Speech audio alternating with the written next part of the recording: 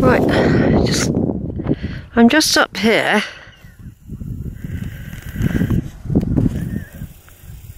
Gonna climb up this track and there's some lovely that now that is a horse. There's no way that's a pony. And that looks more ponyish, it's a little bit smaller. That one over there, that's a horse. As is that one there. They're horses. That's a big horse there at the top of the track there. Oh. The white one's looking a bit skinny. You could do with some dinner, couldn't you, eh? You're a cross between a horse and a pony, actually.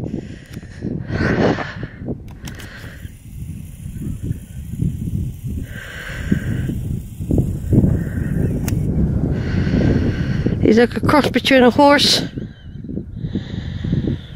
and a pony.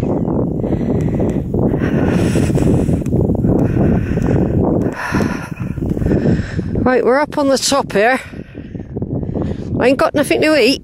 God, I attract um, creatures. It's like dogs always come to find me.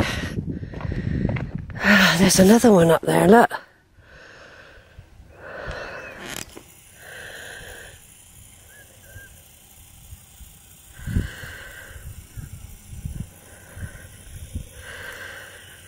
There's one there. I don't really know which way I'm going. No. Oh, very nice to video there. Aren't you? Eh? Very nice to video.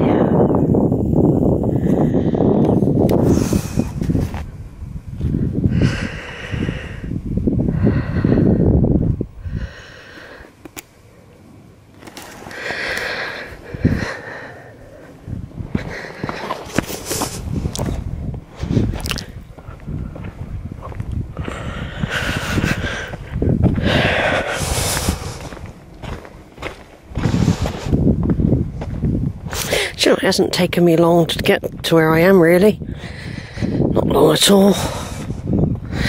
It's only like going on for three o'clock. So.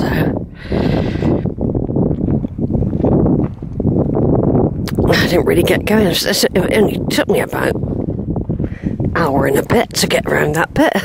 I was amazed actually how it didn't take me very long.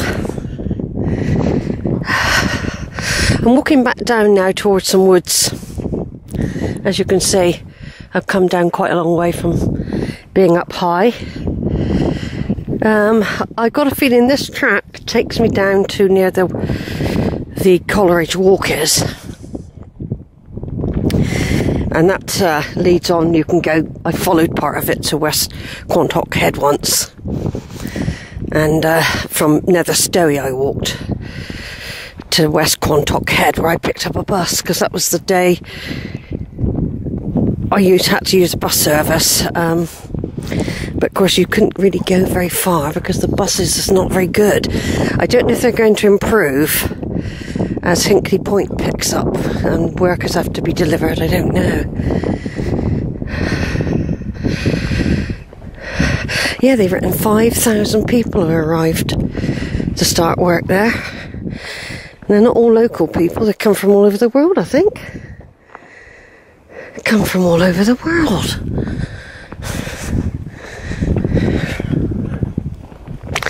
There's a few bikers out, they seem to be enjoying themselves. I mean, I quite like cycling, really, but I would be no good up and down these hills. Um, I'll probably try and get out on the strawberry line one day and do that, I think. Yeah, we'll try and do that. I can, um, well, drive, drive the van to Yatton. I used to cycle there and then do it, but ugh, I don't know if I can do that now. I need the proper pants. Jelly pants, I call them. Yeah, that's what I used to do. I'd cycle out of Weston, It's a cycle bloody miles I did. Somebody coming by on a bike.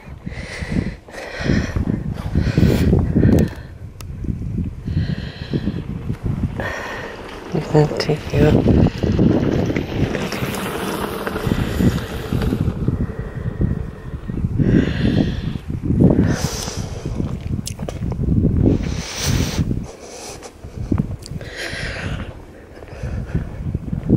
Another one coming.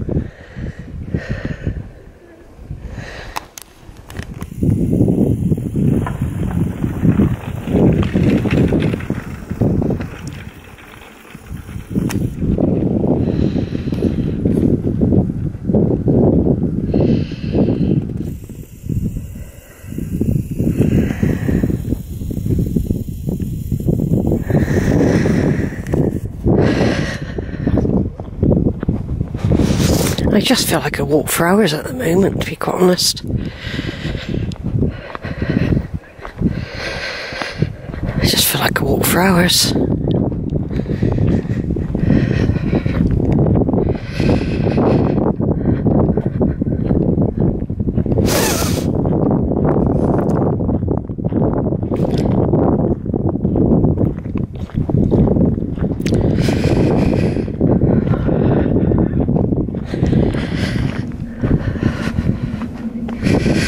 Supposed to be going down through the wood to um, pass Alfoxton House. That's what I'm going to be doing, I think. I'll come up another time and do the alternative route. It's quite a climb up, actually, if you come up this way. A steady climb. But of course, you do get these amazing views. You do get these amazing views. Home. Which I went to in 2012. That's six years ago now. I was out on there. Yeah. I expect they'll be doing trips up there again, but I ain't going on a rib boat again. No way.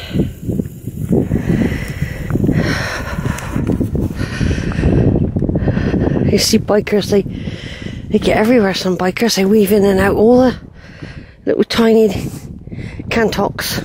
That's what we refer to the Quantocks. And um,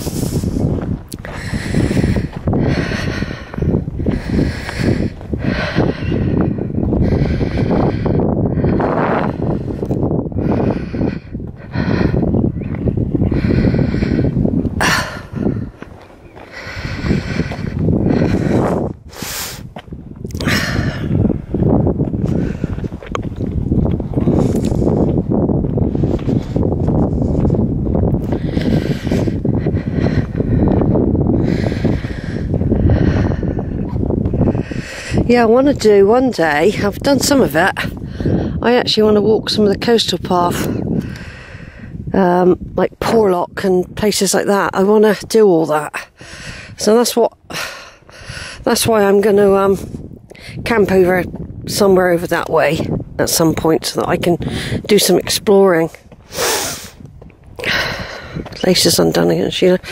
Now this pony or horse, whatever you want to call it Looks more like a pony, looks heavily pregnant.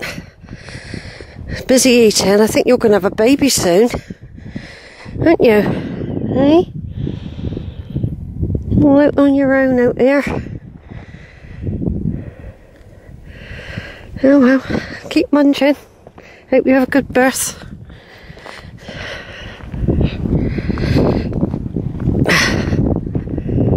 Yeah, this one's definitely pregnant, that one. I'm half tempted, you know, not to go back yet, but to walk down through the combe to finish the day and not do Alfoxton House. Very tempted to follow where that bike is over there and go that way round. I mean, let me just check the time. I don't really feel like going home yet. It's only just gone three o'clock. And I started off at about 12, so I've only done three hours and I've covered a lot of ground. So I reckon I could go round again. then go back down through the combe, I think. Because otherwise, I'm gonna I'll be back in the van in about half an hour. Because if I go through the wood, I go past the house.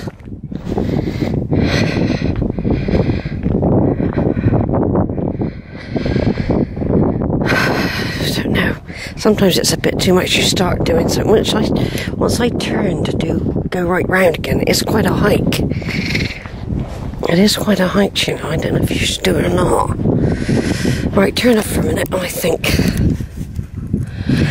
Right then, I've decided not to do Old Fox and House today because it's such a nice day and the weather could change for weeks to be horrible. They said there's a lot of rain coming and all that. I decided to avoid to not go down through the wood because the house this is where Old Foxton and houses and these are all the grounds and that sort of thing. I've decided to skirt to go round this big hill that I've just but I've just been round part of it and I'm going to go back round back to Bicknoller Pole because I decided to go back through the combe. I think it would be a nice way to end the day to go back through the combe. Um, I think Jude would like that for me to go back through the combe um, today on this particular day. So I'm going to do that. And uh, it's, I've got plenty of time, there's no panic. It's not as if it's five o'clock, it doesn't get dark till seven, half seven now. I've just seen a big herd of deer. I took some photos. And um, they all look like does. They were all up on the hill right over there. I managed to zoom in and take some photos of them. There must be 20, 30 of them, if not more.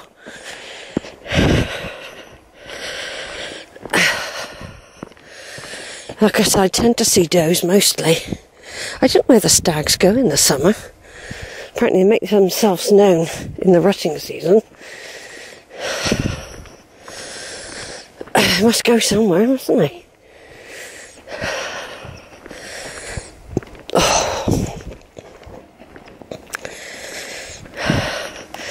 Now you can either go up there to the top and walk round or do the lower path. I'm going to do the lower path so I can look over the over the combes more. I have been up there. I went up there with Georgia. I've done this particular walk with Zara. I made Zara do it. If you want to go back to the Holford Green now, just follow that path by those trees, follow a track, and you'll be back near the village green in no time at all. A quarter of an hour, ten minutes, you'll be back on the green. I'm not. I've come here to do some more viewing. My beautiful Somerset. And my beautiful Holford. Now I just got to make sure, I don't want to go down here, I've just make sure there is a track for me to follow, if not I'll, I'll go back up on that one. I always get a bit muddled when I'm here. If this is going down, then I need to go up, I think. Yes. What it is, if you follow this track, this will take you down in, into Holford Glen again. Okay? So I'm not going to do that. I'll go back up. I'll, I'll, go up on the top track. I always thought you could. I reckon there is a walk down there, but I'm not quite sure. But anyway, look at these beautiful views. Look.